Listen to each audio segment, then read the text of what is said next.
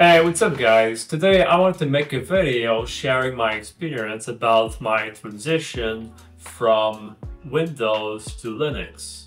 Because a few days ago I decided to change my operating system and so I'm going to share my experience in this video.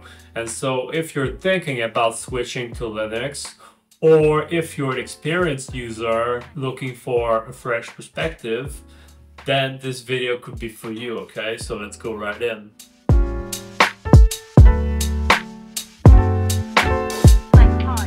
Alright, so first of all, I have to say that I'm not a complete beginner with Linux because I learned computer science and I used Linux many times before. So I installed Linux on my desktop, but it was not the first time that I was using Linux, okay?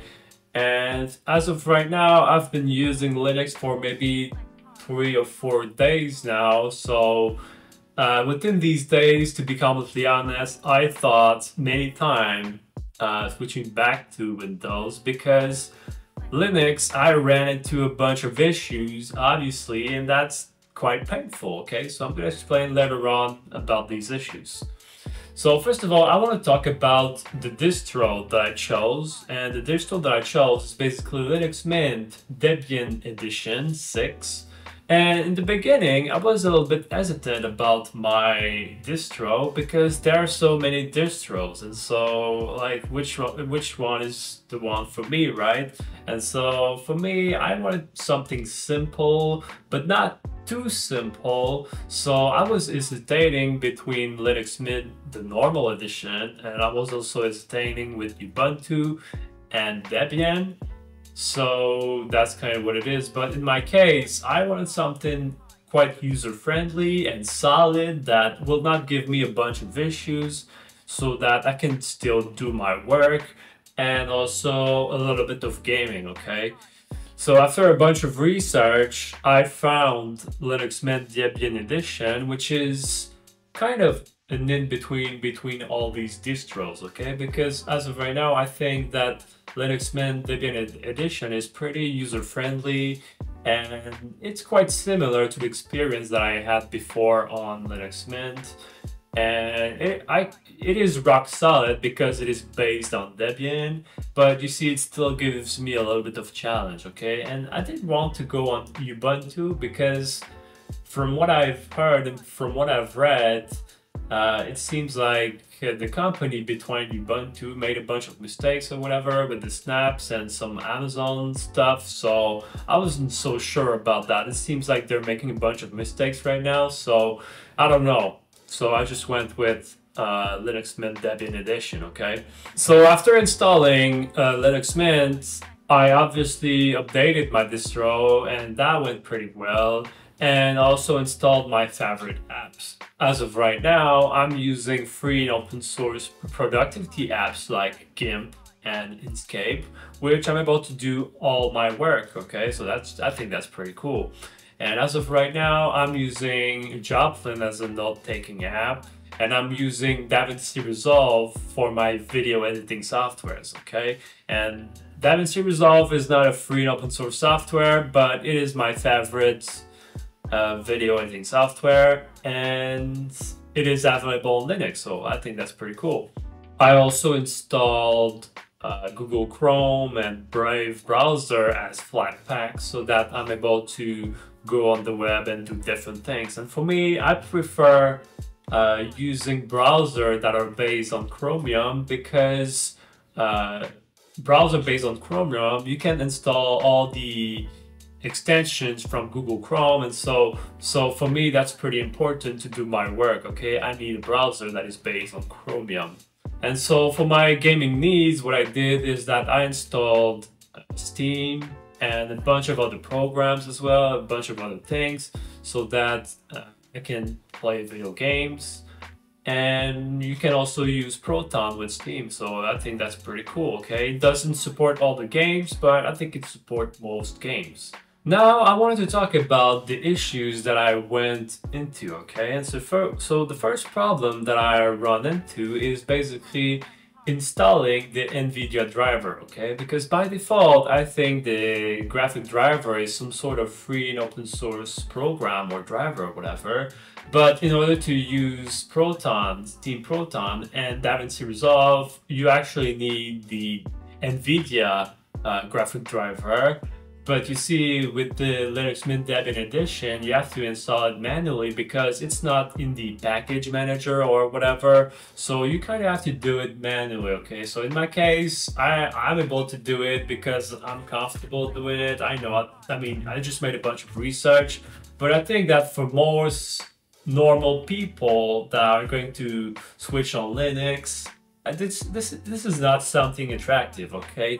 I don't think most people want to deal with that thing unless they actually want to deal with it but i don't know that's the kind of thing that make make me think about switching back to windows okay? And another problem that i had also is that since i installed the NVIDIA driver when I had the kernel update. I had a kernel update maybe two days ago, and because I had the NVIDIA driver, I was not able to update and upgrade my kernel to the latest version. And so to upgrade my kernel to the latest version, I need to wait uh, NVIDIA to support that thing, to support that version. So, so I had to do some sort of rollbacks to to to to wait a little bit. So that's something that is quite a little bit annoying as well. Okay. Another issue that I went into is uh, right now, as of right now, I'm using Google Chrome and Brave as Flatpaks. Okay, and most of my work requires a bunch of drag and drop. Okay with uh, the web browser. So for example, I'm manipulating a lot of images and a lot of videos in my work. And so the, the one of the bad things that I have with Flatpaks is that since Flatpaks are some sort of uh, self-container, they were not able to read my files when I when I was trying to drag and drop them. So what I had to do is change the permissions in order to be able to do that. Okay, so the, those are some sort of command line that you have to to run in the terminal which leads me to my next thing, which is the terminal, okay? And yes, one of the main feature of the Linux experience is to use the terminal, okay? Because it is a very powerful tool. The terminal is a very powerful tool, okay? And I understand the power of it, but you see, using the terminal is a skill in itself, okay? You have to learn how to use the terminal and well, it depends on your needs, but like if you're serious about Linux, you have to learn the terminal, okay? And for me, it's okay, I can deal with it, but I think that most non-technical people don't really want to deal with that, okay? So that's just something to keep in mind. And the next thing that I wanted to talk about is uh, free and open source, okay? Because yes, as a programmer and as a technical person, it can be relevant to look at the code and, and you see, you just go on GitHub and you just look at the code or whatever, and you see it can be pretty cool. And it also shows some sort of transparency in the way that uh, you can trust the person that made the code or whatever the program that you're using. But I think that for most people, they they they don't care that much about that. Okay, they don't care that much about that, and like most people, I don't think they're going to look at the code. And so for me, I know what GitHub is, and I know that uh, I could look at the code. I could go and look at the code and whatever. But you see, for me personally, I'm not really interested in looking at the code and and I cannot imagine like non-technical people what they would do, okay? So in the end, what I'm trying to say is that yes, free and open source software is pretty cool, but ultimately it's not everybody is going to look at the code. So in conclusion, I think that Linux, yes, you can do most of your work using free and open source software, and there are also some some non-free and open source software that you can use, like DaVinci Resolve, and you'll be able to do your work, you'll, be able to do a little bit of gaming, but ultimately it comes with a trade-off, okay? You have to keep in mind that if you're going to use Linux, you'll run into other issues, okay? And so in a way, you kind of have to fight with your own operating system to make everything work.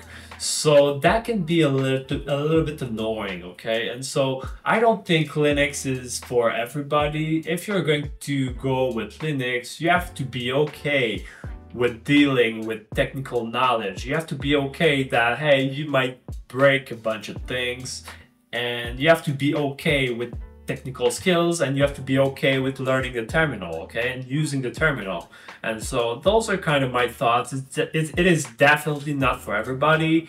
And as of right now, I'm not sure if I'm gonna stick with Linux. I'm gonna think about it and I might switch to Windows again, or maybe I'm going to keep using Linux. I don't know yet, but that's pretty much it for this video, okay? So I hope that this video was valuable to you, and if this video was, was helpful to you, you could consider liking this video and subscribing to my channel. And if you have any question or comments, you can leave them below because I will answer everything and your thoughts and comments could also be useful to other people as well. But for now, that's it for this video, okay? Peace.